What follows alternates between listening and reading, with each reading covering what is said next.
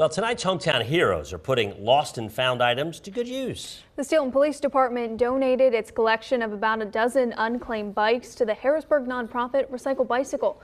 Officers pick up abandoned bikes, and these are the ones no one ever came back for. Recycle Bicycle restores old bikes and each year gives away a few thousand to people who need them.